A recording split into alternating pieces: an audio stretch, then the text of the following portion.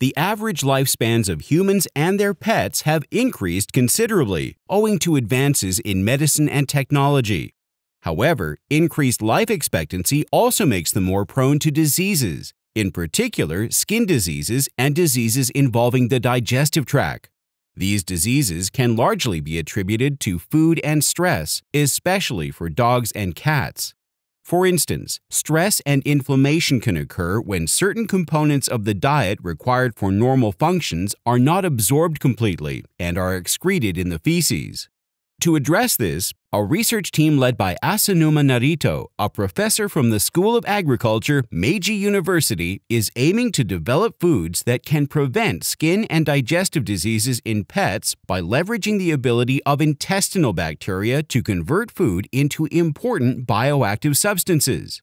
Recently, the team discovered a novel intestinal bacterium that can chemically transform ceramides in rice and bread, making it easier for the body to absorb and break them down.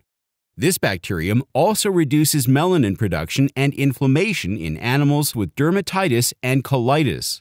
Another isolated bacterium has also shown the potential to enhance the function of omega 3 fatty acids and convert omega 6 fatty acids into functional products with health benefits.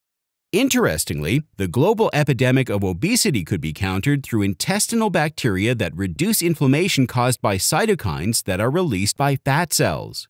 With respect to skin diseases, Introducing unique bacteria as probiotics will increase the production of bioactive substances in the host animal, which might save time for skin care. In summary, as the research on intestinal bacteria advances further, pets and humans will be able to live healthier and happier lives together.